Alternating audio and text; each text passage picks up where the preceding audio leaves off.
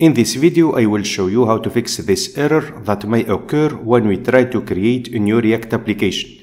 So here when we execute npx create react app and the name of the application, we may obtain this error, no such file or directory. So to fix this error, we need to create the npm directory. So let's copy the first part of the path and let's paste it here. Then here we need to create the npm folder. So let's make a right click, then new, then we will create a new folder and let's call it npm. Now let's create the React application again.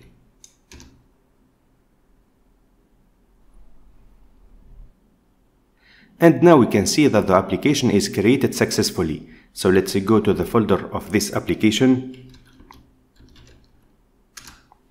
and let's run it. So we can use the command npm start.